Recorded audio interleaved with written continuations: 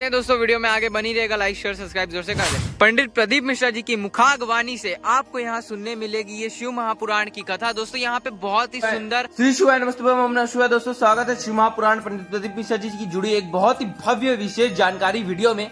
आज हम आपको दिखाने वाले शिव महापुराण से जुड़ी एक विशेष जानकारी। साथ ही साथ पंडित प्रदीप मिश्रा जी की एक ऐसी विशेष जानकारी बताने वाले, जिसे देखकर आप सभी हैरान होने वाले और सुनकर तो बहुत ही ज़्यादा हैरान हो जाएँगे। वीडियो में बनी रही वीडियो को लाइक, शेयर, सब्सक्राइब ज़रूर कर दीजिएगा। चैनल को सब्सक्राइब करिएगा, वीडियो को लाइक करिएगा और ज़्यादा से ज़्यादा लोगों तक इस वीडियो को शेयर करिएगा। कमेंट में श्री शिवाय नमस्ते या ओम नमः शिवाय। या हर हर महादेव दोस्तों ज़रूर लिखेगा। निवेदन है आप सभी से। कमेंट करिए लाइक करिए चैनल को सब्सक्राइब शिवमा पुराण पंडित प्रदीप मिश्रा जी की कथा एक बहुत ही भव्य तरीके से होने वाली है दोस्तों। ये शिवमा पुराण की कथा की तो उम्मीद नहीं थी दोस्तों की ऐसे स्थल में शिव पुराण होने वाली है। बहुत ही पावन धरा पे शिव पुराण होने वाली है। दोस्तों दिखाते हैं आप सभी को वीडियो में आगे।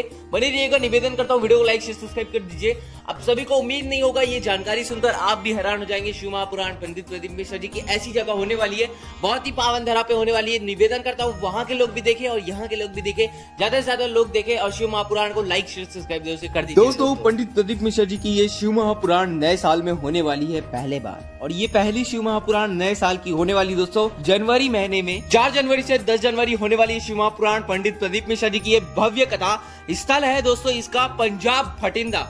पंजाब भटिंदा शिव महापुराण पंडित प्रदीप मिश्रा जी की ये नए साल की होने वाली पंजाब में शिव महापुराण पंडित फटाफट से नोट कर लीजिए दोस्तों चार जनवरी से दस जनवरी भटिंडा शिव महापुराण होने वाली। इसका स्थल कहाँ होने वाला है भटिंडा में ये भी बता दें आप सभी को दोस्तों। तथा स्थल है स्पोर्ट स्टेडियम भटिंडा पंजाब। और इस स्पोर्ट स्टेडियम के सबसे करीब है भटिंडा रेलवे स्टेशन। करीब एक किलोमीटर के अंदर में होगा ये भटिंडा रेलवे स्टेशन।